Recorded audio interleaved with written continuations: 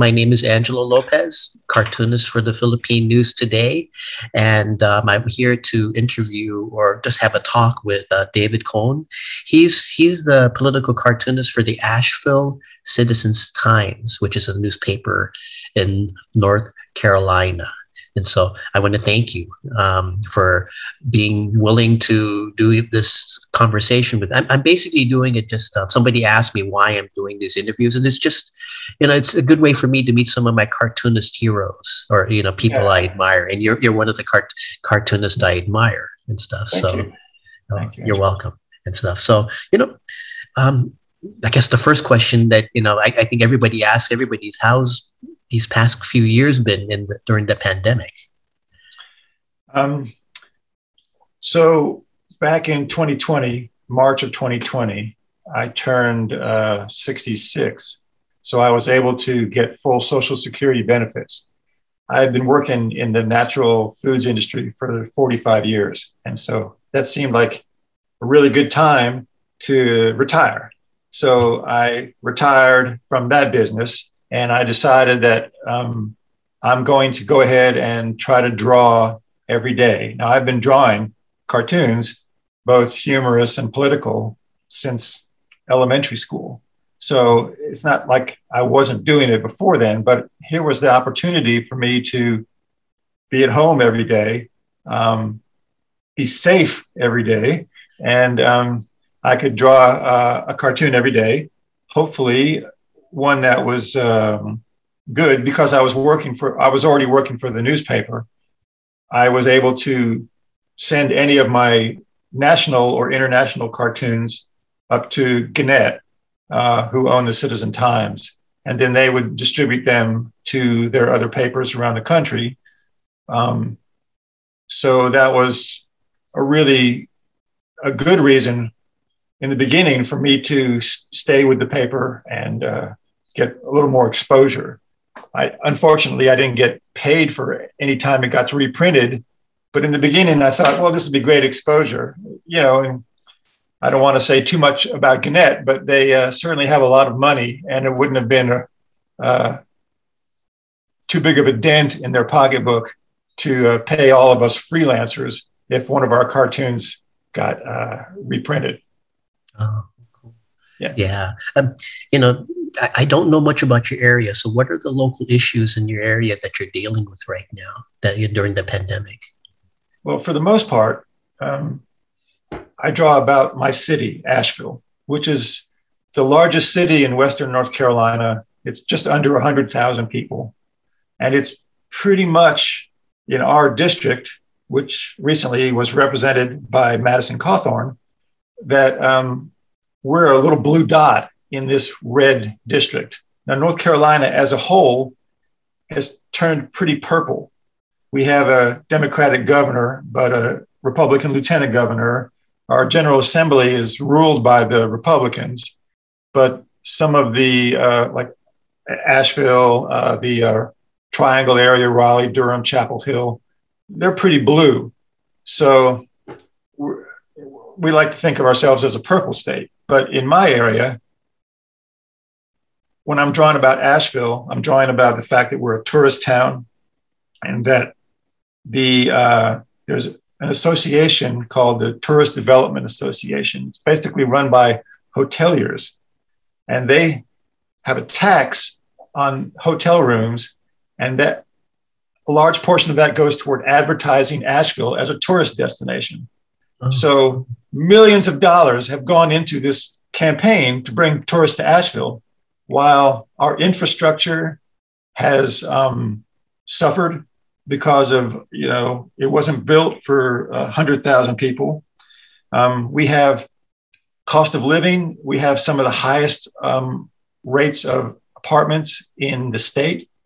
Uh, and housing has just gone up the roof. People, middle class that work here, have a really hard time finding houses they can afford to buy or even to rent and so uh, they're they're moving further out. We get forty thousand people drive into Asheville every day for work. Wow! So wow. a lot of people can't afford to live here, but they work here. So th- those are a lot of the issues that I draw about. Oh, okay. Yeah, I, I didn't know that actually. Yeah. Well, that's one of the reasons why I like interviewing um, uh, cartoonists like you. Is just, I, I you know, you know, you, you, when you live in a certain place, you you kind of think that everybody has the same issues as you, and then when I talk to you and stuff, um, I realized you know different parts of the country have different issues, right? So yeah. I'm a Californian, but I, I sometimes um, am hesitant to tell people I'm a Californian because people tend to get out Calif- mad at Californians because oh, a bunch of Californians moved in our state and now our know, our housing prices are rising. Are, are, are, is there the similar complaint going on in, in your area? Yeah, absolutely. Um, because you know you might be able to sell your house for a million dollars in California, and you come here and the average price on like a bungalow now is almost four hundred thousand dollars, and um, there's a lot of people, corporations that are buying up houses so that they can, you know, turn them into Airbnbs or they can renovate them and flip them for twice the price. Right now, if you if you were looking for a house in Asheville, you'd have to come in with cash 10 to 20% over the asking price and you still might not get the house.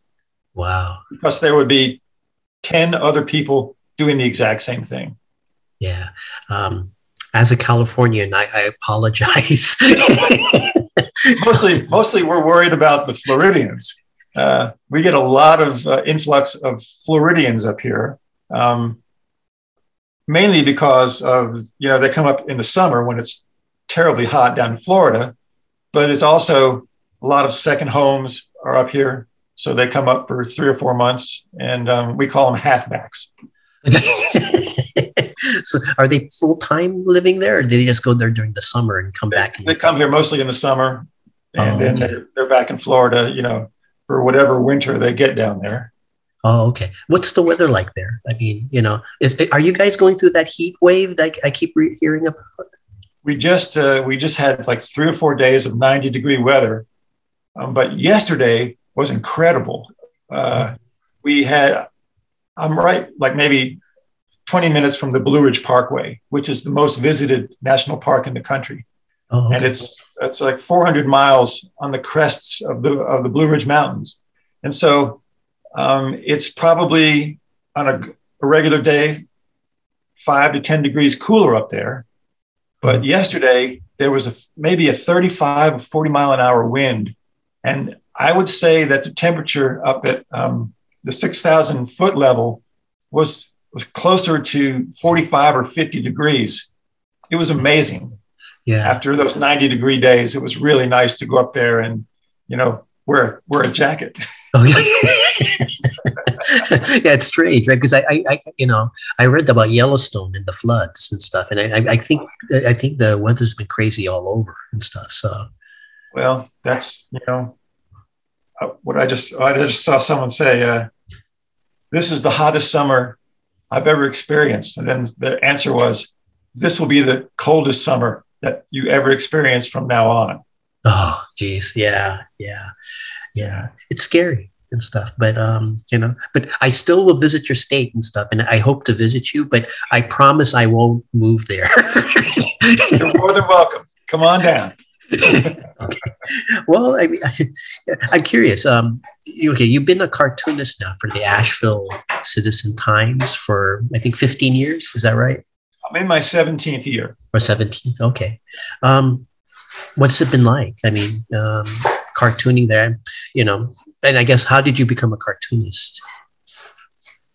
Uh, when I was when I was a little kid, my dad's parents lived in England um, and they would send us uh, cartoon books of this one cartoonist in London, uh, Carl Giles. Oh. And I, I, still have those books. And they are um, incredibly detailed and incredibly down to earth um, when it comes to this. He draws about this family, um, like three or four generations of this family all living together and what goes on for them in their daily lives. And I was so inspired by that. I just, I mean, I, I, I already like drawing, but when I saw those cartoons, I was really inspired to start trying to draw cartoons. So this was fourth or fifth grade. and um, you know, I drew in high school and uh, in college, and um, I it was something I could do, you know. So it was something that um, I concentrated on. I wasn't. Uh, it was. It came naturally to me, so it wasn't something that I had to really work hard at. I think because if you look at me, basically, I'm a lazy person, and that uh, I don't do a lot of backgrounds in my cartoons. Um, so, uh, oh, I can. I am this. not. I'll, I am not giving the critique on lazy people. I'm. Uh, I'm pretty lazy myself at times. yeah, um, and for the paper, you know, um, I I've lived here in, in Asheville since 1970, so I've been drawing cartoons here for other publications. There's a, an alternative weekly that I worked for for 10 years, and I just decided that I'm going to try to get in the Citizen, and because that's kind of always been a dream to be the editorial cartoonist for my daily paper. Um, I think I was born a little too late because uh, by the time I got to that stage, you know, we were already starting to be phased out. Um. You know, when it comes to uh, editorial cartooning in papers, you know, the internet was starting up and um, papers got a lot slimmer because they lost all their advertisers because they could advertise on the internet. Yeah. So it was really, um, yeah, probably 10, 20 years too late. But I've, I've been in the paper for almost 17 years. And uh, when I went up there, I had some samples, and uh, our the main editor was a guy who'd come here from South Africa, and he's been he's been an editor for a number of different papers uh, around the country. He's been very busy in that field. Jeffrey Green, and he and uh, the chief editor uh, Susan Yenny they looked at the stuff and they said, well, we really like this and we think you could do this. Uh, what kind of deal can you give us? so I was like, okay.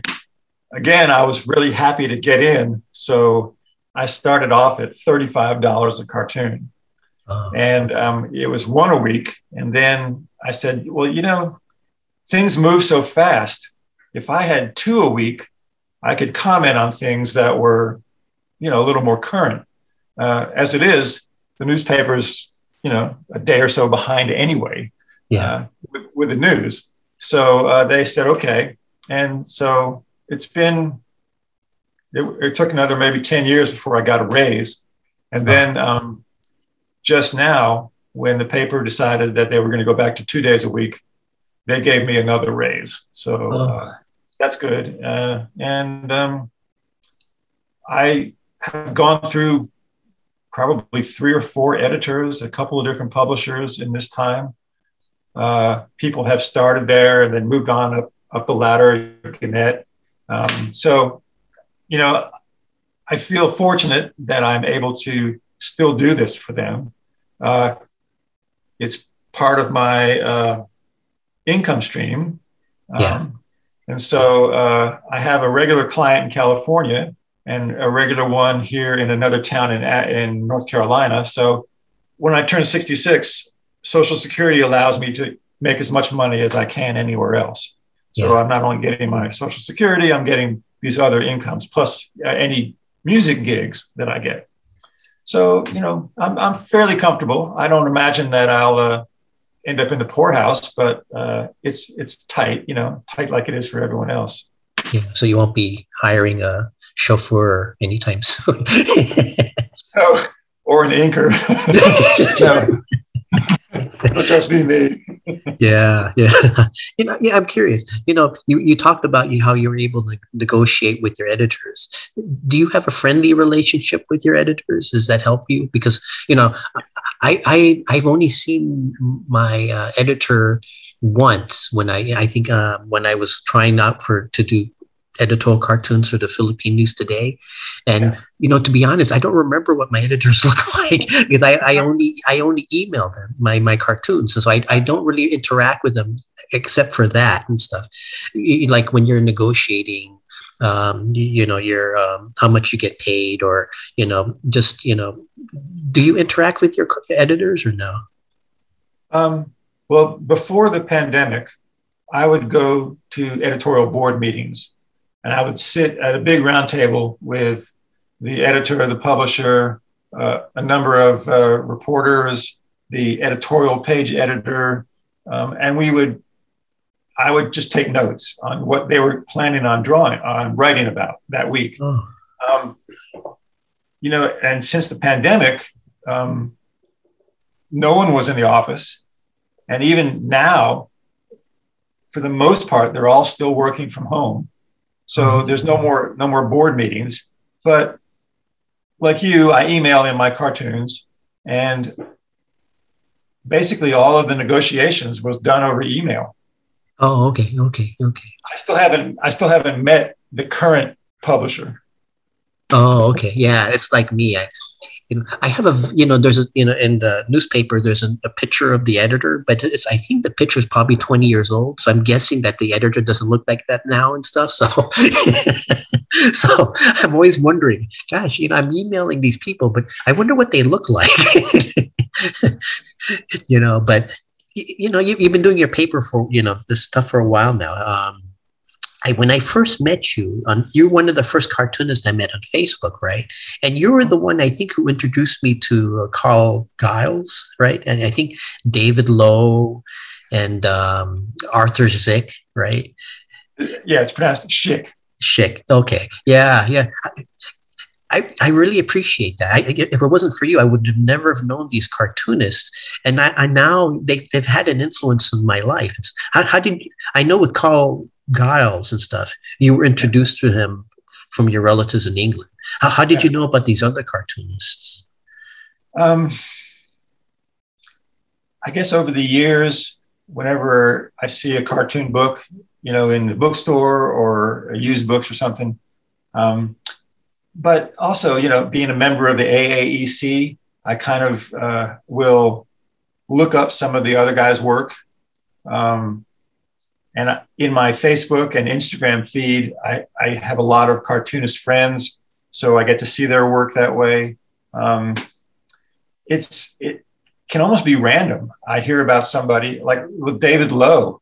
I heard about him, and I was talking about it with uh, my wife at the time, and for my birthday, she bought me a, a, book that she found somewhere online of David Low's cartoons from the 40s and 50s.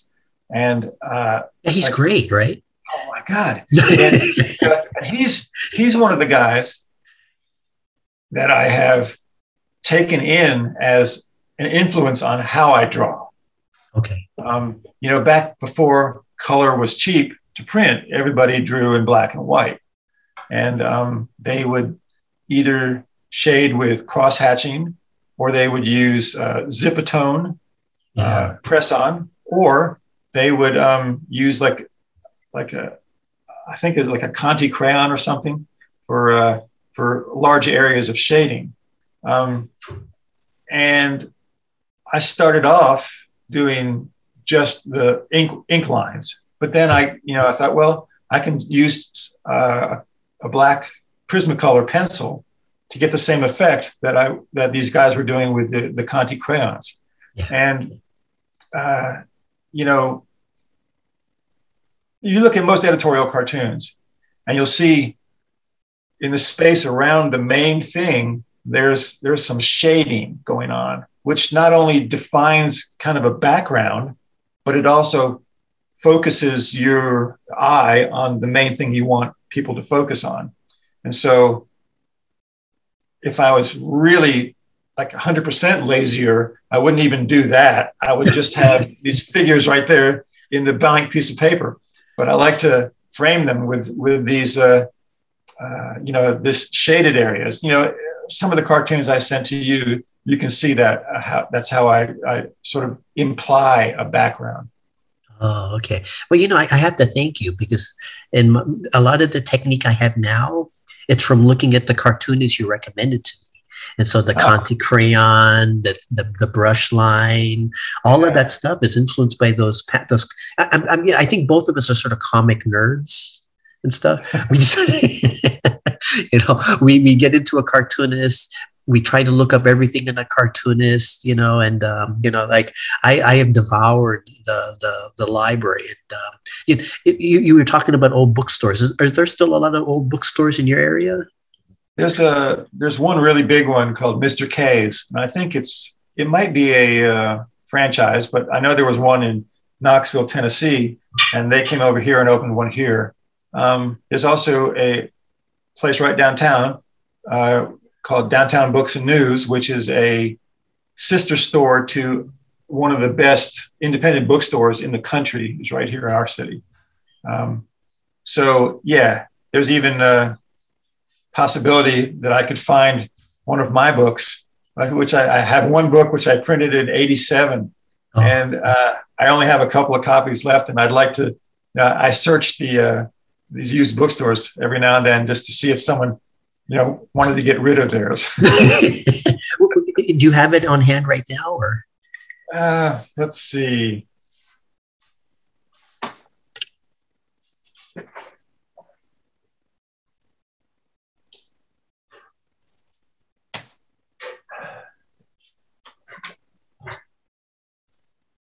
I don't. I don't see it at the moment. Um, okay. Why don't you just tell us the time so that if you know somebody who's viewing this video happens to be in an old bookstore, maybe they can look up your your book. Basically, it was just a. Uh, it was the name of my strip called Cohencidents. Oh, C O H E N C I D E N T S. It was. Let me see. Can you see this? Yeah, I see it. Yeah. Okay, that's kind of what the title was. Oh, cool, cool. When was it published? Uh, who? Where? Oh, when? When was it published? When? Oh, it was 1987. Okay, okay. So, well, I'll know, go look I, in the bookstore and I'll look for it. I've had, I mean, I actually had an ISBN number on it, so it, it's listed somewhere. But um, I've had any number of people say, "Oh, you should do another book," and you know, little lazy me says, "Yeah, sure, I'll get around to that someday." Uh, but right now, um, the biggest step I've taken is I contacted the university here, and they have a um, what's the term? They have a, a place where they keep uh, a lot of media that has been pertinent to this this region of the country. And so I, I suggested to them, would you be willing to take my cartoons? Because I've I've probably got about 5,000, 6,000 cartoons that I've been drawing since I've lived here. And they said, absolutely. Uh, so I'm in the, in so process cool. of cataloging what I have, you know, and um, I just, I got to the point where I was like, what's going to happen to this stuff when I die? Yeah. And so I wanted to, I wanted to have it somewhere where they're going to catalog it. You'll be able to go in and say, hey, let me see one of David's cartoons that has to do with um, the pollution in the river, and they'll be able to, you know, pull it up and uh, say and pull it out, and they they're doing, you know, preserving them. They're going to be, you know, each one's going to be wrapped up, so it's it's uh, it's almost taken the place of me doing another book. Well, you can still do another book anyway. I, I do books, I, I, I self publish it through Kindle. Kindle. Uh, they have a Kindle publishing thing and stuff. So I have a couple of your books. Oh, you? Oh, okay. Thank you. So you're the one who's. I don't. My sales are not that big, so I think it's in the two digits and stuff. So yeah, not many people know my stuff. I'm guessing you have a bigger readership than I do, right? You know, because you're in more um, um, I guess because you're in a, uh, Gannett uh, publishing and stuff, I'm assuming you have a wider readership. Well, so I have, um, I, I, put my cartoons up on all different social media, Twitter, Facebook, and Instagram. On, on, I have a separate Instagram, a separate Facebook page for just new cartoons, and there are about 2,500 people that follow that are that like that page, um, and that's in like 40 different countries around the world. So uh, uh-huh. it's really cool. Every now and then, I'll see someone like a cartoon and I'll go look at their name and I'll say, oh, this person's in Germany or this person is in Brazil. Um, hopefully, they'll speak English so they can understand what I'm trying to say. you know, I look at your cartoons and even though it's local and stuff, a lot of them, you know, they're very pertinent and stuff. So you know, you, you know, I'm, I'm a Californian and stuff, so I still yeah, understand well, your cartoons. So, you know, I wanted to say one thing to you, Angelo, is that you know back when um, you remember Jeff MacNelly? Oh yeah, yeah. Okay, so when he burst on the scene, he actually went to the University of North Carolina and he started drawing for the Daily Tar Heel. That's where he, he got his start. Yeah, yeah. Um, but he he came on the scene and his style was like the essence of everything beforehand that he just he was able to he was so good and he was so good at what he did that he kind of became the this okay everybody else you got to come up to this level. Yeah. And you got to you got to kind of draw like that too. And so his style became the de facto style that editorial cartoonists had to follow. And a lot of a lot of them still do. But one of the things that i've learned from the uh, being a member of the aaec and looking at your work and my work is like you know there's room for all different kinds of styles of editorial yeah. cartooning. And you know i think you and i we benefit from the fact that we don't look like anybody else's work yeah and that yeah. you know people go oh yeah i can see that that's an angelo lopez cartoon yeah, know? yeah. for better or for worse yeah that's mine there's that yeah for better or for worse um, yeah. and for me my influences you know I, I, think i'm considerably older than you um, my influences go back to uh, you know herb block and paul conrad and uh, hugh haynie these guys that were just doing it all in black and white with broad strokes you know i'm still not that comfortable with a brush but um, every now and then I'll, I'll try i'll try again using a brush or a brush pen yeah. to get those, that effect. So, you know, people are saying, well, editorial cartooning is is dead. It's gone. You know, papers are dying. So there's no hardly any more staff cartoonists anymore. But I think there's more people drawing than ever before. Yeah, and it is so diverse. The internet is, you know, how we're getting out there now. Most of us haven't figured out how to capitalize on that yet. Yeah. But um, that's that's where it's going. So, you know, we we got to figure that out if we want to continue to do this and you know make some kind of living at it. Yeah, I think that's true with most artists. Stuff is that you know we we love to draw, we love to paint, we you know we love to do all the stuff, but we, we you know we we struggle more with marketing. Yeah. You know, we struggle with like the business end of it and stuff. Like with me, I, am in the, the Philippine. yeah, with me, I, I, love to draw and I love to, um, but you know, how finding another paper, you know, all of that, you know, syndication, how to monetize my work. You know, I, I, I really don't know and stuff. And it's not really something, it's, I think it's something you have to do if you want to be a cartoonist, but it's not something I really enjoy and stuff, right? You know who's really good at that is Clay Jones. Oh, okay. He's he's self-syndicated and he sends out packages all the time.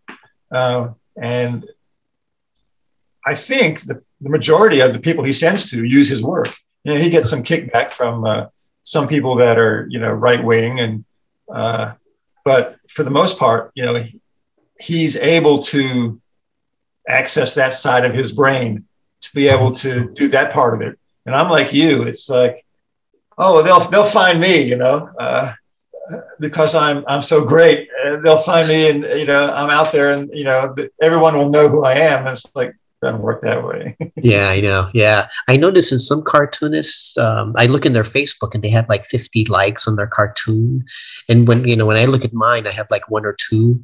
so, and I I think you you you that's why I'm wondering with you and stuff. I mean, you have a bigger readership and stuff.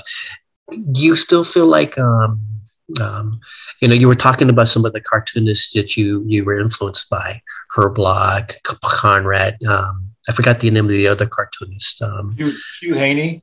Yeah, I, I, yeah you, you, may have to let me know about him a little later. It's because I, I, he's one cartoonist I'm not familiar with. But you know, you, you introduced me to David Low, Carl Giles. They, they, they had um, they had national influence, right? But you know, I, I, talked about this with another cartoonist. Do you think we're having more, our, our influence is not as much national anymore? You, it, you know, it's more local, right? So Do you well, agree with that, or you're not syndicated? I'm assuming. No, no. And I'm not syndicated. So yeah. you know, the only way my work gets out there is if you Gannett. They'll put it up. They have a gallery on USA Today, and all the freelancers send them stuff, and it goes up there. But they also send out to all the editors of their papers, say, "Here's here's you know this week's cartoons. You if you want to use them, they're they're there for you to use." And the only way I know if someone picks one of those up is uh, if I have a friend who lives in that city, they'll say, "Oh, David, I saw one of your cartoons in our paper." Um, yeah. So it's hard to say, you know, not being syndicated. Um, it's hard to say what kind of national reach I have. Uh, now your your stuff. It's in supermarkets stuff, in the Bay Area. The the readership is around twenty five thousand. Your stuff is very specific.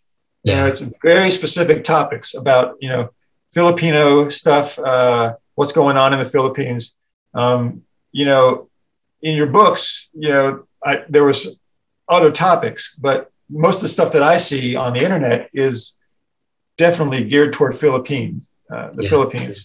So, you know, it, it might be that uh, if you drew more things that were more you know relatable to people in other parts of the country or the world, your readership would expand. I, I think, yeah, yeah just because yeah. Uh, more people would would understand what what it was you were talking about. yeah, one of the things I have is I, I, do a lot of research and stuff, but one of the drawbacks to that is that you, you know you can sometimes learn know too much. So I do cartoons based on my research, but you know most of my readers don't do the research that I do, and so one of the um, one of the uh, things I have to be careful of is to make sure my readers actually know what my cartoons are talking about. you know, whereas with yours, one of the things I like about your cartoons is even if I don't live in Asheville, I, I basically know what your cartoons are talking about. You know, you know, there's a um, you're very you're a very good communicator. I had to um, I had to learn that because um, in some ways there was when I was younger, I thought that I um, I was so hip that I could pull, I could draw something that I laughed my ass off about, but no one else got, and I had to explain it. And so I figured out, okay, well, I can't do that and expect to sell cartoons. So in some ways, I have worked at trying to make it as accessible as possible. You know, the caption. You know, there's a lot of cartoonists these days, um, like. Uh, Matt Bors or Tom Tomorrow. These guys, I love their work, but it's not anything that I would do because um, my whole thing is reducing the idea and the amount of words in the cartoon to the bare minimum to uh-huh. get my point across. Yeah. And, um, you know, in some ways, I feel like those guys are really uh, having to do all that to get their point across. Yeah, yeah. So, I wonder about that because um, both you and I do single panel for the most mm-hmm. part, whereas they have multi panel. And I, I, I've asked a few cartoonists about this. Is I'm wondering if in multi-panel cartoons you can have nuance, whereas single panels we have to get the message quick. Yeah. Um, yeah. You know, with a multi-panel cartoon, there is room for uh, nuance. There's there's you know you can one panel to the next.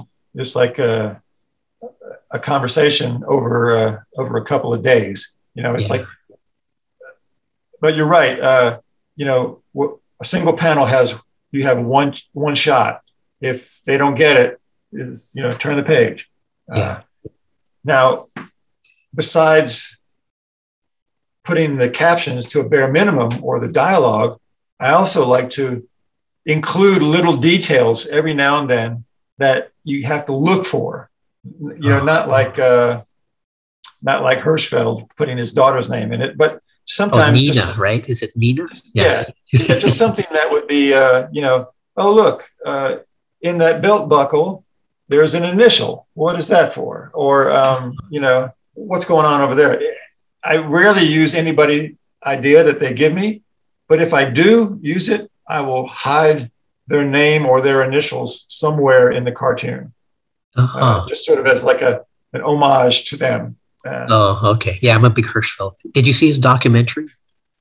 Yes. Yeah, yes. that was good. And yeah, he was I've doing. I've got a book of his too. That's just uh, it's phenomenal what he can do with a line. Yeah, yeah. Well, you mentioned a few people who who are your influences.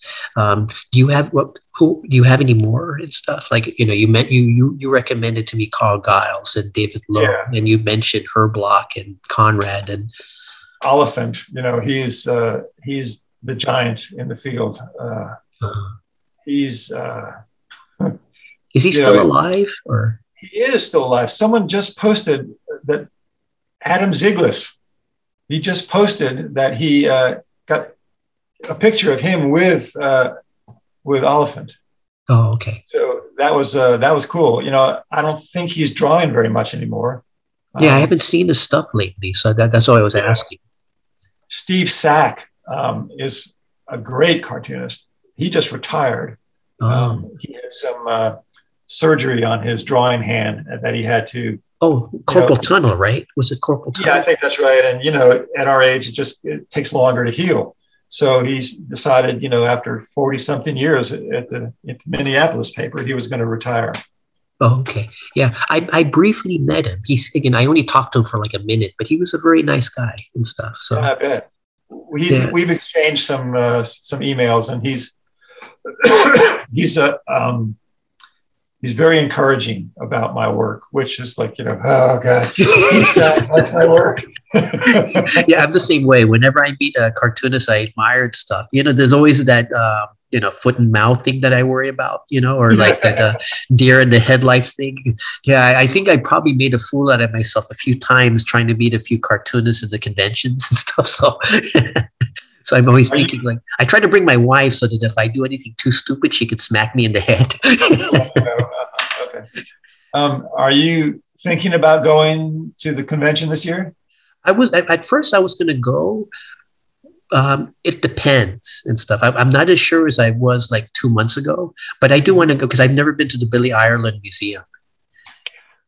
Yeah, and I would love to go to that and stuff. So, yeah, I um, I'm I'm I'm in the same way. You know, I was thinking I could drive there and save oh, okay. save some money that way. You know, and then um, you know it's it's not cheap. You know, it, it costs money to go to the convention. Then you have to get there, and then the hotel room and all. But after a couple of years of no conventions, uh, you know, it's nice that this one is at least this close to me. It's so much nicer to talk to someone face to face, especially someone that you admire. You know. Yeah, yeah. I so yeah, I'm hoping to go, but I'm not sure yet and stuff. But cross your fingers and stuff. It's just yeah. um, th- there's been a lot of health problems in my my my family lately and stuff that I've had to take care of. So okay, yeah. You know, I'm curious. Um, you know, you're a liberal cartoonist in a red state, right? Um, how's that been? I mean, um, you know, um, I, I, know with even though I'm in California, I'm, I'm a liberal, but I, I, have, I, used I used to have a lot of conservative friends, mm-hmm. and and the, in the past twenty years, I've gone through this painful process of losing people who were once close friends, you know, because things changed and stuff, right? Um, how's it been for you? I mean, I mean, both in your political, in just in your cartoons and just socially and stuff. Have you lost any conservative friends? Has it been? Um, no, not really. You know, um, like I was saying earlier, uh, North Carolina has become like a purple state, but yeah. District uh, 11, which is w- my district, which includes like 17 counties in Western North Carolina, Asheville is this little blue bubble, and the rest of it is pretty red. So, um, and Madison Cawthorn was our representative uh, just until this last election. Uh, uh, there'll be he lost in the primary, so he won't be coming back for the general election. Um, but just the fact that he got elected, yeah, you know, in some ways, over the time that I've been with the paper, there have been very few letters to the paper, to the editor, saying anything about my cartoons. Um, so it's hard to gauge what my impact is uh, when it comes to my positions and what the majority of the population of my district might think. because I, I, mostly draw about Asheville and just the immediate area, which so I have, I don't have a whole lot of conservative minded friends mm-hmm. socially. So I'm kind of living in a little bubble myself. Uh, yeah. most of my friends agree with me. I think, you know, like with me, I, am starting to get into a little liberal bubble, but some of it is just that, you know, um, it's not it's not by design you know it's just that some of you know uh, as as the partisan times got more uh, as the times got more partisan I, I, just lost conservative friends so by default my friends became more liberal or you know either moderate or liberal. So it was it was not it was not an intentional thing right? So i think uh, i think uh, in the last uh, last 10 years you know sort of the rise of trump and that ultra conservative evangelical right wing movement moving into the government sphere i think you know that's really accelerated all of the division that we now see in the country between you know blue and red, uh, liberal and conservative. Um, you know, there's it's it, it's easy to generalize, and there's a lot of people that are like live and let live. You know, I don't agree with you, but uh, I, you know, it's fine that you have those opinions. I have my opinions. Um, so in some ways, the media really tends to uh, focus and enlarge that divide. Uh, you know, um, and if, I'm sure you're aware, there's you know the number of liberal cartoonists versus the number of conservative cartoonists. is way unbalanced. many more liberal cartoonists than there are conservative cartoonists. Yeah. Uh, you know, and a liberal cartoonist generally will attack anybody. If you're doing something stupid, you know, then they'll will comment on it. Um, conservative cartoonists, that's not generally the way that they work, in, in my opinion, my understanding. It's like, you know, they're not going to though recently, I mean, people like Ramirez, I saw that he, you know, he was giving Trump a hard time. Uh, you know, the, the, whole January 6th committee hearings are are so fascinating to watch. You get to see right there these people, a lot of them Republicans, you know, coming right out and saying, you know, yeah, he knew, uh, everybody lied. Uh, you know, this is uh, this is treason. Um, it's it's like right in our faces. Um, whereas before it was kind of like, oh, you know, they were just tourists looking looking to take yeah. a you know a trip around the, uh, the rotunda. You, you know, or, you've done a lot uh, of good cartoons on that and stuff. You know, oh, where yeah. you really point out that kind of uh, I, I sometimes think of it as hypocrisy, but I sometimes think it's groupthink, where you you just get scared of telling how you actually feel, right? You know. Yeah. Well, and you look at a lot of the uh, Republican politicians; they're they're totally scared yeah. of not having of his endorsement, uh, yeah. even though in private they might tell you, you know, oh yeah, he, uh, I don't, I don't trust him. I don't, you know, I don't. The fact that he's cheated on all his wives, uh, the fact that he, you know, wants to grab women, you know, by the pussy, uh, all of that stuff, you normally would think, why, why are these people supporting this guy? Yeah, and for me, why are white evangelicals supporting this guy? yeah, yeah, you know, and that just to me points out the hypocrisy that they're living in. Yeah, evangelicals, you know, it, it's about power oh well you know we'll overlook that stuff because we get to be in power with him yeah because, because you're you know you, you know that was one of the questions i was going to ask because you know, Madison Cawthorn was one of your rep. Do you have any insights and like his supporters and stuff? I mean, no, you don't have to worry about him anymore, but you were right in saying, but he got elected and stuff. He did. Being he got so elected over over a guy who was like a, a, a prosecutor at Guantanamo, had, had, retired from the military, uh, brilliant guy. Uh, I didn't know that. Yeah. Yeah. Uh, Morris Davis, uh, retired colonel, uh, a lawyer, had spent time working in DC and in, uh, at Guantanamo. Um, the fact that, well, like I said, you know, most of my district is red. So if you had an R behind your name, it wouldn't matter, you know, if you were a serial killer. Uh, I'm laughing, but I shouldn't be laughing. no, no, it's like it's it's it's it's it's pitiful. Um, he is in a wheelchair. Uh, he's extremely handsome and photogenic. Um, he says what the people in those red counties wanted to hear, and he was endorsed by Trump. So he had from the outset, he said he wasn't concerned about legislation. He was mostly concerned about communication. Uh-huh. So he would spend a lot of time tweeting, you know, just like his mentor, saying things that were uh, right wing bullet points. Um, but then again, he was caught carrying weapons into schools. Uh-huh. He uh, he was arrested twice for uh, driving with an ex- without a license and speeding. Um, he, I don't know if you saw the pictures. Uh, he was on a cruise, and they were playing a game where he wound up. There were pictures of him dressed in women's clothes, and he had like this really drunk expression on his face. Yeah. Um, his marriage, uh, you know, the right wing sanctity of marriage. Uh, he married some uh, aerobics instructor uh, and got divorced after six months.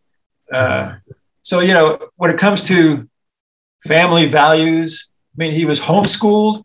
He had one semester in college uh, and all of the very small Christian college. He f- flunked out uh, after one semester, and 150 people at that college signed a letter saying that he was a sexual predator and don't be alone with him in a car.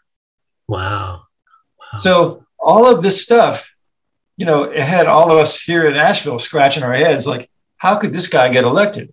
And then throughout his term, he, as a freshman representative, he was number one in the number of missed votes. He was he was traveling not even in his district. He was traveling around the country, yeah. speaking, endorsing other candidates. So you know he wasn't in, in, by any means, shape, or form representing the people of uh, NC11. Uh, mm-hmm. And we have some good people running. Uh, there's a Republican running who personally I've met, and he's a little more dangerous than Cawthorn because he actually knows how the system works and he can get sh- shit done. Um, but you know, there's uh, there's some good Democrats running against him, so we'll have to see how it turns out. I'm curious, um, because you had this view coming from a red state. That do you think this? Do you think the Republican Party can ever be pulled back from that edge? Do you, do you think the partisan divide can be bridged, or is that, you know, I don't. I, I come from California, so I don't have a good view on that. Um, have been watching the uh, the January sixth meetings? The first two days. I haven't okay. seen day three or four yet. You saw Liz Cheney say, "One day Trump will be gone, but your legacy will live on." Yeah. And I think that's true. Um, you know, in many ways, Americans have short memory. And um, once Trump is gone, some of this will probably die down. But I think that uh, he opened a crack and that crack is not going to seal up again. You know, it takes a lot to get Americans to change their minds about things. You know, I always thought that uh, back when nuclear power was a big issue, I always thought, well, it's going to take something like a meltdown and half of a state is uninhabitable before Americans go, oh, well, we got to do something else. Yeah. Um, and right now, with the climate, you know, the storms that are happening, uh, the way drought, all this going on, it might be too late, but it's also just that much more in the front of people's minds. And people are a little more open to the idea of solar, wind, uh, hydroelectric, uh, each house, individual house having its own power supply, you know, getting off the grid, because all that stuff is also vulnerable to hackers, uh, which has happened already. So it's, um, I don't think, I think it would take a huge calamity to unite Americans again, you know, kind of like September 11th did um, for a short period of time. Uh, yeah. Did I just see that movie that, uh, about the meteor crashing onto Earth with Leonardo DiCaprio? Oh, I haven't seen it, but I I, I know about it. yeah, yeah. It, it, would have to hit. It would be like all the buildup would be like, oh no, I don't believe it. You know, it would have to hit. yeah, the Philippines, we have a similar thing. I haven't been in, in um, my, you know, you were saying how my cartoons are really uh, hyper focused on uh, the Philippines, and it's because I'm scared to death of Duterte. And now, did you, you read recently? Uh, Ferdinand Marcos's son just recently got elected president of the Philippines. Yeah. And I think both of those things terrify me. And a lot of the same dynamics you're talking about is happening in the Philippines. You know, yeah. them forgetting history, the revision of history, the um, you know, um, you know, uh, in spite of 27,000 extrajudicial killings, um, uh, Duterte's popularity is in the high 70s, right? Yeah. And stuff. So, um, you know, and now Marcos is, um, is coming to power, and the Marcos families had a disinformation campaign on social media because um, a lot of a younger generation of Filipinos never didn't learn about how bad the martial law period was, and so they're trying to make it out to be a golden age when it was actually a terrible time. Both they they tanked the economy, they had all these human rights violations. So you know the, the dynamic you're talking about in America, it's it's happening in the Philippines, and I'm guessing in a lot of places around the world and stuff. So, yeah, yeah, yeah. So you know, I know a little bit about Madison Cawthorn, but I didn't know all the detail you said. So thank you for letting me know about that. Yeah, he's uh, he's, he's the worst example of uh, of the blindness of a lot of Republican voters. You know, it's like it doesn't matter who he is or what he's done. I mean, look at Trump. Uh, you know, you've seen the pictures of him making fun of that disabled reporter. And it's like, at what point in, in this country did that not say immediately go, get that guy out of here? You know, it's like 50 years ago, uh, he would have been run out of office. Yeah. Yeah. It's just amazing, you know, what people can get by with today. And I, I have to say, a lot of that has to do with social media because you can anonymously let your hate and rage out now. You know? Yeah. Yeah, I used to. I, I, still have some conservative friends, and uh, some of my a lot of, but a lot of those friends are anti-Trump conservatives. I used to think that, I used to have this hope that maybe anti-Trump conservatives can fight back and win back the party. That that hope is um, a lot less now. but I, I, admire them and stuff. But you know, I'm, I'm sure you know, uh, I'm, I'm speaking as a liberal, but I'm sure an, anti-Trump conservatives are probably you know feeling miserable right now and stuff. You know, but right. So, they're, they're staying underground. Yeah. In the few that if they want to get reelected. yeah, yeah. So, but okay, on to a less depressing subject, I guess. I, I, want to talk about craft and stuff. I love your cartoons, uh, you know, the softness of your cartoons. Can you tell me a little bit about how you do your cartoons? Like, you know, do you do pen? Do you still do you go on the computer or? Um... Yeah, I am. Um, I, I I use Bristol board, uh, okay. hundred pound Bristol board, smooth, and I um, I use an HB pencil okay. to sketch out my idea, and then I um, generally we'll ink it. Uh, I use um, let's see. This is a, a Faber Castell Pitt artist pen. Oh wow, wow! Different. Okay. Uh, they have different um, sizes. Some of them like extra small, small, fine, medium, brush. Uh, so I use those, and then I use a Prismacolor uh, black colored pencil to do my shading. Okay.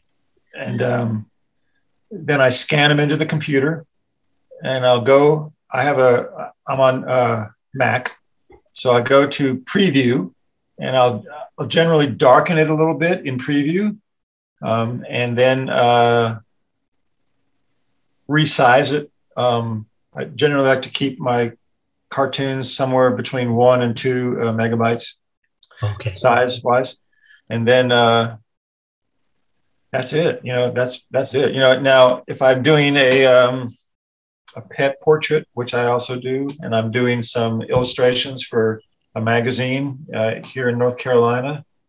Um, generally, what I'll do is once I've penciled the idea, I'll take a picture of it with my iPhone because my scanner doesn't really pick up pencil that well.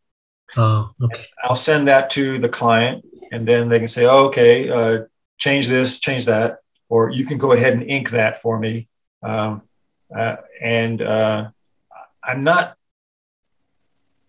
I, I don't have much of a color sense, like what goes with what and what works really well. I do some of this things for this magazine. They want the illustrations in color, so I generally do watercolors, watercolors and a little bit of colored pencils. Um, but that's not my forte. Uh, and for the most part, I can barely please myself when I do something in color. so I, I does your ink black. run? I mean, because you're saying you're doing watercolor, so that that ink that you that pen you use, it's waterproof ink. Yes. Oh, okay, okay. Yeah. yeah. Was, one of the problems I have sometimes I accidentally buy non-waterproof India ink, and I yeah. think, ah, why did I do that? so, yeah, right. Got to start over. well, you know, yeah. one of the things that I, I, I love about your stuff because I, I you you do these cartoons where everything is is uh, black and white or gray, and then you had this spot of red and stuff. I love that effect because the the red really pops out and stuff. How did you get think of that idea? I, I think I saw it as other cartoonists' work. You know, they might well the red hat, the uh, "Make America Great Again," and, and Trump's red tie. You know, yeah. you can't really portray those in black and white. Yeah, yeah, um, yeah. So uh, I can get a really deep red with a, a Prismacolor red pencil, and um, oh, okay, okay. You're you're right. It really it really stands out, and it, it just jumps jumps out at you. So I uh, that's about the extent of my color sense. okay yeah I, I, see but you know you don't really need that much of a you know I, I, think as long as you you you know you find what you're comfortable with and you work within those those means and stuff that's fine and stuff. And you know i think you're the as far as i know you're the only one who um, who does that and stuff. And i think it's a wonderful technique. I was assuming it was just that uh, your paper only does three color print or something but it, it's something you consciously do in um, in the 17 years that I've worked for my paper, uh-huh. they have never printed one of my cartoons that had color in it. Yeah. In color. They occasionally, and again, so much of this stuff is done in a central hub. You know, Gannett does a lot of layout and all that shit. So they occasionally there will be a color cartoon on the editorial page, but when I talk to my paper about it, they say, "Oh, we didn't do that you know that's it's not our choice that's something that they do up in cincinnati or louisville so um, I, I generally, you know, even when I've done a full color cartoon, they'll print it in black and white. Oh, okay. You know, one of the big things around here is uh, in the fall, the color of the leaves. Uh, it's just brilliant, you know, coloring, uh, red, yellow, uh, orange. It's just incredibly beautiful. But if they don't print those cartoons in color, then it's like it's lost. Yeah, yeah so I, I don't draw. I don't draw about that too much. Yeah, somebody asked me why I do black and white. And I think I just always assumed that the editor only wants uh, black and white, but I've never actually asked and stuff. So I'm I'm trying to get the courage to one of these days say, would it, would you mind if I did a color cartoon and would you publish in color? So, you know, do they do they publish uh, color photographs? Um, I think they do in the front cover and you know the front page and stuff. So yeah. maybe they will. It's just you know when they asked me, I, have been doing the paper since 2011, and all those years, I, I, it never occurred to me to ask. Right? you know. Well, so, you know, it, it, that's a fairly new thing. You know, so it's like if you grew up like we did uh, at a time when they only could print black and white, uh, then that's kind of our mindset. Yeah, yeah. I wouldn't mind. It would just take longer and stuff to do. And right. you know, you know, like I love like Matt Wuerker's work and stuff. And I think yeah. he does it by hand, right? He doesn't go yeah, by computer. I saw yeah. I saw a photo of him working, and it's all hand watercolor, and he draws. I mean, like on a big. His cartoons are really big. Oh no, I never seen that. Yeah. Yeah. Oh, okay. Okay. My stuff is always um, nine by 12 and stuff, or um, eight and a half by 11, because um, um, um, you know, it shrinks down and stuff, but um, I'm thinking speed and stuff. You know, I, I was going to ask you about your, what's your schedule when you do your cartoons? You know, for me, Monday, Tuesday, I start reading and researching. Wednesday, Thursday, I draw and then ink my cartoons. I try to finish by Friday so that in the weekends I have time to spend with my wife and stuff. What's your schedule? Um, so for most of the time I've been with the paper, it was in Wednesdays and Sundays were the days that my cartoons were in. So for a Wednesday cartoon, I would draw over the weekend, Saturday or Sunday. Okay. For the for the next Sunday cartoon, I would draw on Wednesday. Oh. Um, but now I draw every day. Um, and I draw, I still kind of follow those, that schedule for the newspaper, but I'm drawing every day for um, social media, um, this uh, online magazine out in California that I work for. They have a lot of um, evergreen articles that they want cartoons for, and they come up with a new article every week. So there's a lot of back and forth between me and them. Uh, I send them pencils, and then they say, oh, "Do this, do that." It's interesting. They're the only client I have that basically tells me what to draw. Oh, okay. and um, sometimes it, it's a little frustrating, uh-huh. but they pay me so well that I'm okay with it for now, at least for now. You know, oh, okay. Like they're, they're, great people and they like my work. Um, and it didn't take them very long to give me a raise, so I'm happy about that. And uh, you know, they they disseminate the work through not only through their online site but through social media as well. Um, I don't generally post those because they're they're really tied to the articles. Uh-huh. And if you didn't have the article, you might not know what the cartoon was about. Yeah, well, it's so like I, most of my cartoons. Half the time, people. yeah. Well, yeah. you know, when I see your cartoons, it makes me really want to try to dig a little deeper and see what it is you're talking about. You know, the average American who's never been to the Philippines, you know, only knows what they read. You know, occasionally in the in the papers or see on TV if there's some big thing happening. One of the things that I first knew about the Philippines was when the Beatles went there and uh, were, were like, you know, snubbed, they snubbed Marcos and had to fear yeah, for their yeah, lives, yeah. you know. but then um, my, uh, I had a girlfriend who was in the Peace Corps in the Philippines. Yeah. And she was, uh, she went there to basically teach people about aquaculture, how to, oh. you know, grow fish for food consumption. Oh, okay. She said, but she wound up teaching women how to breastfeed. oh, You know, you, you sort of had to do what needed when you got there. Oh, she was okay. trained for one thing, but then she shows people the other thing. Oh. Um, yeah, and at It the must have been time, out of left field for her, I guess. yeah, uh, she wasn't a mom, but uh, it was something that she could figure out how to do.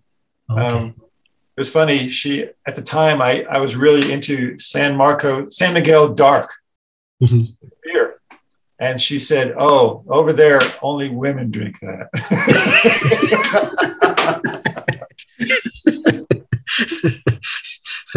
I don't Okay. drink Okay, beer, but I'll- I'll have to remember that. Yeah, That's funny. well, you know, you mentioned the Beatles, right? You're a drummer, right, for for various local bands and venues and stuff, um, which I find is pretty cool, right?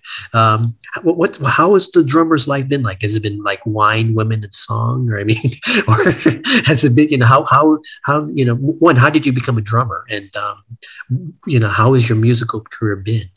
Okay. Um, well, I started off uh, when I was in high school. And I started off, we had a ukulele at our house. So I, I picked that up. And then my grandfather uh, had a classical guitar that somehow wound up at our house. So it's close enough to the ukulele to where I could start playing it. You know, and I saw the Beatles on TV, and it was like every other kid in America. Okay, I want to play guitar and be in a band. So I um, I played guitar for probably ten years or so uh, through high school, and uh, I played with a couple of people um, out. You know, I was, but I wasn't very good. You know, I was a rhythm guitarist, and turns out it was the rhythm that really attracted me. So I switched over to drums, Oh, and I've been playing drums for you know last 30 years or so. Um, I've worked with a lot of different people in a lot of different genres, um, everything from Irish music to uh, jazz fusion, traditional jazz, um, reggae, rock and roll, alt country. I even played some hip hop. Uh, I worked. I worked with a couple of people who have won Grammys, Oh, and cool. I got to record one time in Nashville, which was uh, really a lot of fun. Um, you know, when the pandemic hit, everything shut down, and there was no gigs for anybody, and that was like, okay. I mean, the guy that's been mowing my my lawn is an incredible saxophone player, and his band had to quit, so he you know started a lawn a lawn care business. oh, And, um, you know, at the time, I didn't have to worry too much about income because I had started my Social Security. But uh, I didn't, didn't do any gigs for a year or so. And then they started having shows outside where you could, you could be outside and the audience might be in the parking lot or something. And everyone was wearing masks and, you know, that's, that's how it worked. And right now, I'm in I'm in one band, and we're uh, we're playing out. Um, there's a, a- a place here in town that I play a lot, and they basically you have to have an immunization card to get to come in, and uh, you know things have loosened up a lot, but COVID cases are starting to rise again. So it's like it's not like we're past it yeah, um, yeah. but you know drums drums really it's it's a passion uh, there's just it's so much fun and it's it brings so much fun to people uh, i'm just you know until i can't carry all that crap around i'm going to keep doing it you know everything's got wheels on it now yeah, yeah, yeah. Yeah, I'm, Yeah. curious. Um, I mean, who were, who- were you a big uh, Gene Krupa fan, uh, jazz, or were you were you more the Ringo Starr, Keith Moon was type? more- yeah, yeah. I didn't start listening to those jazz drummers like Buddy Rich and Krupa and uh, Ed Shaughnessy till, you know, much later. I was the Beatles, you know, Ringo Yeah. just really turned me on to that stuff. Um, I, you know, and since then, some of my favorite drummers are like incredible jazz drummers, you know, Yeah. progressive jazz drummers. People like uh, Dave Weckl, um, Vinnie Colaiuta, uh, even Stewart Copeland, you know, just yeah, yeah. great, the police, great drummers. Oh, yeah, okay. yeah. So, um, a lot, you know, a lot of my career as a drummer has been people saying, "Oh, we need a sub. Can you come in and, and play this gig with us?" And I said, "Okay, send me a set list, uh, and I'll look these songs up, and I'll try not to embarrass myself when I play this gig with you." Yeah. And um, so, having to be really on my toes about, I might have to sit in on a song that I've never heard before. So it's as much of what I don't play as it is what I do play. Uh, and just keeping in mind that I'm not there to solo. I'm not there to have the focus on me. I'm there to serve the song. And if the song goes on and people don't even notice that I'm playing drums, then I did my job correctly. Okay. Okay. Yeah. Is that part of the fun of it? You know, it's just, you know, being on is. your toes. Yeah, it is. You know, it's like um, improvising uh, in some ways. You know, you get to a point where you're confident enough in what you do that you don't get scared going into a situation like that. You figure, oh, yeah, I'm a little nervous, but I know that once it gets going, I can handle it. I can I can do what needs to be done. The interesting thing, Angelo, a lot of people, a lot of cartoonists are musicians as well. Oh, okay. It's yeah, uh, I've noticed that. You know, uh, you know Jeff Koterba out in uh, Nebraska he's got a, a, band. They played in New York City. Um, oh, cool. Yeah. Uh, have you guys jammed? I mean, or have you guys, you know, well, with other cartoonists? Uh... No, but I imagine if uh, if some people brought instruments to one of the conventions, there might be some jamming. yeah, too bad you can't bring your drums to uh, to uh, uh, where is it again? Where is it? They're, they're doing it this year yeah, Columbus and stuff. That would be cool. Do You remember? You remember Dwane Powell? I don't remember. I, I, met a few, you know, in the conventions. I would meet a cartoonist yeah. and stuff, and then I would go and I would, and they would tell me, "Oh, do you like my work?" And I'd say yes, and then I'd go to the hotel and look up their work. Dwane, Dwane um, he was the cartoonist in Raleigh for. Uh, oh, okay. And he, I don't think he ever won a Pulitzer, but he should have. He was a, a really great cartoonist and a, a, really cool guy. So I got to meet him, and he's a guitar player and singer. And so um, one day, uh, probably about five years ago now, he um, invited me down to Raleigh, and I said, "Well, I'll bring my drums." And then uh, he said, "Yeah, do that because I, I need some drums on a recording that I'm working on with oh, wow. Jim, Jim Keefe, who's a cartoonist out in Colorado." Uh-huh. They collaborate over the uh, internet. So uh-huh. um, I went down and stayed with uh, Dwane and his wife Jan for a weekend, and um, recorded some drums on one of his songs, and uh, it it was it was fantastic. It was fun. Oh, cool, cool. You know, uh, the, there's a note in my computer saying we have four minutes left. Okay. So let me give let me just give you a, uh, a last question. And um, okay. you know, you, so you, being a cartoonist that you have, um, how, how do you see the political cartooning profession evolving and stuff? And um, so, what do you and what do you see as the future of American editorial cartooning? Well, I think that it's always going to we're always going to be here.